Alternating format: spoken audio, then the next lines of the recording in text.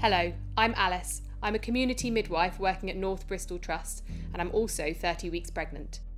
Hi, my name's Victoria. I'm a birth centre midwife, and I'm going to be talking to you today about active birth and also positions for labour, along with my colleague Alice. Active labour is typically when you will need one to one care in labour with a midwife. It is also when your contractions will become more frequent and more intense. There are two ways of knowing whether or not you're in active labour. The first is by monitoring your contractions. When you are in active labour, your contractions will be stronger, longer, and more frequent. You can see in this graphic the early labour is shown on the blue line. Your contractions will be spaced further apart, they will be more irregular, with some being stronger than others and some being longer than others. And when you get into active labour, as shown by the green line, your contractions will usually be equally spaced and equal in length, strength, and frequency. And in the space of about 10 minutes, we would normally expect you to be having three to four contractions, which will usually last between 45 and 60 seconds. Another way that midwives can tell if you're in the active part of your labour is by performing a vaginal examination with your permission. When we examine you, we would expect to find that your cervix is at least 3 to 4 centimetres dilated when you're in active labour. Your behaviour in active labour will often be noticeably different. In early labour, you will be easily distracted and often be able to still talk through a contraction. In active labour, the intensity of your contractions will make it harder for you to focus on anything but your labour. In active labour, the cervix, which is the neck of the womb, has to open from 4 centimetres to 10 centimetres dilated in order for the baby to be born. This, for a first time mum, will take up to 6 to 14 hours on average. Now we'd like to show you what happens to your body and how your baby works with you during active labour. This is the pelvis, and there are lots of changes that occur during your pregnancy that will help you out in labour. At the front, you have the symphysis pubis. Your hormones in pregnancy soften and relax the ligaments here, allowing it to move more and give more space to your baby. At the back, you have the sacroiliac joints and the coccyx. The pregnancy hormones will also soften the ligaments around here and allow this to lift in labour, giving more room for your baby to come down and out. Your baby works with you during labour and it does this in a number of ways. First of all, your baby will tuck its head down with its chin on its chest so that the smallest part of the head is coming down the birth canal first.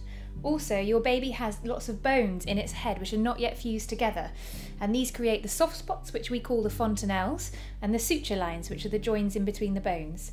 These can overlap to allow your baby's head to change shape as it navigates its way through the birth canal and through your pelvis. Alice and I are now going to show you some positions which you could use during active labour to help you and your baby progress through your labour easily. So the first one that we're going to show you is on the birthing ball here. So the benefits to being on the birthing ball are that you're in an upright position, which helps your pelvis, as Alice is showing you here, maintain a more upright position, which enables your baby to navigate its way through it much more easily. Also, those joints that she showed you before with the sacroiliac joints and the symphysis pubis at the front, when you are moving on the birthing ball, it allows them to move and allow your baby easier passage through your pelvis.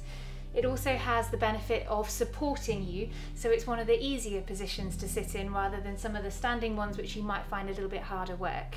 It's important to make sure that your birthing ball is inflated enough that your knees are not higher than your hips and also that when you're on the ball you're using it to rotate and move your hips from side to side or in figures of eight rather than using it to bounce up and down. This will allow your baby to make its way through your pelvis much more easily and won't, won't impact it into a more difficult position which bouncing can do. This is a birthing stool. Most commonly this is used in the second stage of labour, so the part where you're pushing. It's really useful for supporting you when you're in a squatting position. When you're squatting, it helps this bottom part, the outlet of your pelvis, open up wider, allowing your baby to come out.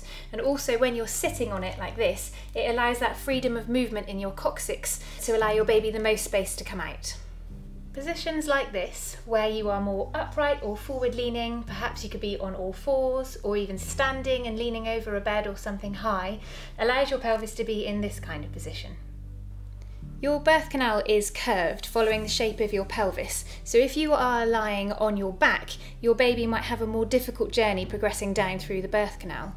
If you were in an upright and forward position like Alice was just showing, then your baby can progress more easily following that curve and using gravity to help descend through the birth canal. Sometimes in labour it can be useful to lie down if either you're tired or perhaps if you've had an epidural and therefore you're unable to adopt the more upright forwards and mobile positions that we were showing you in the earlier positions. In this particular position, Alice is using a peanut ball. What this is doing is it's helping to keep her pelvis in an open position and allowing movement in her pelvis and allow her coccyx to move so that baby can progress through the birth canal. This position is useful for encouraging descent of the baby, so it allows the baby to come down to the lowest point and the outlet of your pelvis, where just before they're born. By having your knees together but your ankles supported apart by the peanut ball, it allows the widest diameter, so the biggest space between these two points of your pelvis, and will allow your baby easier passage to be born.